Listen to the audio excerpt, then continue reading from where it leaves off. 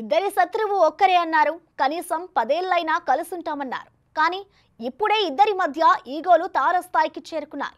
ఇంతకీ పంతాలకు పోతున్నదెవరు? లెట్స్ వాచ్ ది స్టోరీ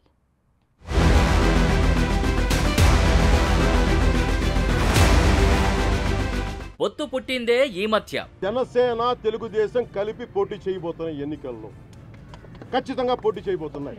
అంతలోనే ఎవరి దారి వారిదా? రిపబ్లిక్ డే రోజున రాజోలు రాజానగరం సీట్లు నేను అనౌన్స్ చేస్తాను. ఇది మిత్రభేదమా? పొత్తుకు బీటలా?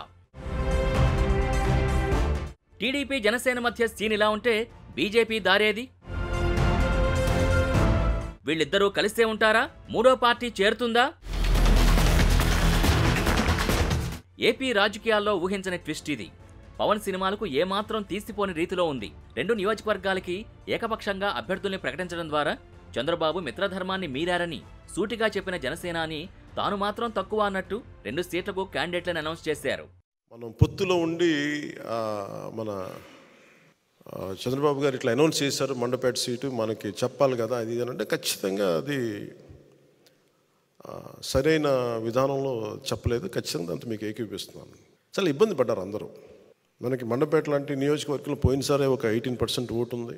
అది ఈ రోజున చాలా బలమైన twenty above twenty three twenty eight exact చెప్పండి ట్వంటీ ఎయిట్ దాదాపు ఇరవై ఆరు నుంచి ఇరవై ఏడు ఒక టెన్ పర్సెంట్ పెరిగింది పోయిన దానికి ఈసారికి.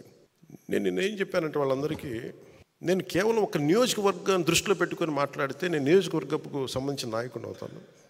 నేను బర్డ్ ఐ వ్యూ. అంటే అది విహంగ వీక్షణ ఉంటుందా? లేదంటే బర్డ్ ఐ వ్యూ. ఆ బర్డ్ ఐ వ్యూని చూస్తే తప్ప నేను రాష్ట్రాన్ని సంపూర్ణంగా చూడాలి. దాంట్లో భాగంగా ఒకసారి కొన్నిపాటి ఏరియాలో ఇబ్బంది కలగచ్చేమో. పొత్తు ధర్మం ప్రకారం అలా అనౌన్స్ చేయకుండా ఉండాల్సింది. నేను దానికి నేను క్షమాపణలు చెప్తున్నాను. ఖచ్చితంగా నెక్స్ట్ మీటింగ్లో దాని మీద వివరణ ఇచ్చి దాన్ని ఎలా సరిదిద్దాలో సరిదిద్దుతాం అని ఒక మాట ఇచ్చి పంపించాను. అసలు ఎందుకు ఈ పరిస్థితి వచ్చింది? చంద్రబాబు పవన్ కలయిక అధికార పార్టీలో గుబులు రేపుతుంటే వీళ్ళలో వీళ్ళెందుకు పంతాలకు పోతున్నారు? అధికారమే పరమావధిగా చెప్తున్న విభేదాలు ఎక్కడ మొదలయ్యాయి? ఇదే ఆసక్తిగా మారింది. దీనికి సమాధానం మండపేటలో దొరుకుతుంది. మండపేటలో మంట మొదలైంది. అది కాస్త రాజుకుంటూ బడబాగ్నిగా మారుతోంది. రా కదలిరా సభలో మండపేట అభ్యర్థిని ప్రకటించారు చంద్రబాబు నాయుడు. సాయంత్రం అనౌన్స్ చేయగానే జనసేన నాయకులు సెపరేట్గా సమావేశమై తీవ్ర అసంతృప్తి తెలిపారు. దీంతో టీడీపీ జనసేనలో అలజడికి దారితీసింది.